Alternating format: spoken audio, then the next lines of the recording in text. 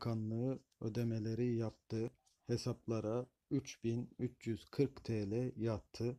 Herkes E-Devlet'ten parasına baksın. PTT'den veya ATM'den paranızı çekebilirsiniz.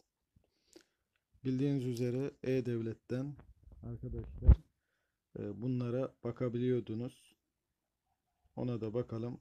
Artış yaşandı zaten 2300 lira seviyesindeydi. Her ay evinde yaşlı, engelli veya hastasına bakan vatandaşlara başvuru yapmaları halinde 2354 lira ödeniyordu. Zamlarla beraber Temmuz ayında 3340 TL'ye yükseldi. Bundan sonra yaşlılık, evde bakım ve engelli maaşlarına e, verilecek olan maaş arkadaşlar askeri ücret zammı ile birlikte 3340 TL'ye çıktı. Her ayın sonuna kadar hesaplara yatmış oluyor. Burada da arkadaşlar ister SMS ister e-devlet sistemi üzerinden evde bakım maaşı sorgulaması yapabilirsiniz.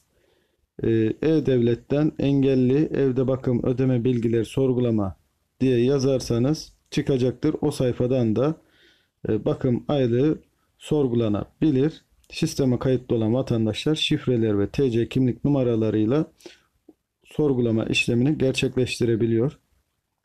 Ödeme yapılan iller bu şekilde Ordu, Denizli, Manisa, Antalya, Kocaeli, Niğde, İstanbul, İzmir, Kahramanmaraş, Çanakkale, Sakarya, Adana, Mersin, Balıkesir, Bursa, Aksaray, Ankara, Afyonkarahisar, Bolu, Uşak, Düzce, Konya, Siirt, Karabük, Bilecik, Malatya, Osmaniye, Şanlıurfa, Kırşehir, Kayseri, Hatay, Samsun, Diyarbakır, Kilis, Muğla, Tekirdağ, Kayseri ve Zonguldak şu anda arkadaşlar.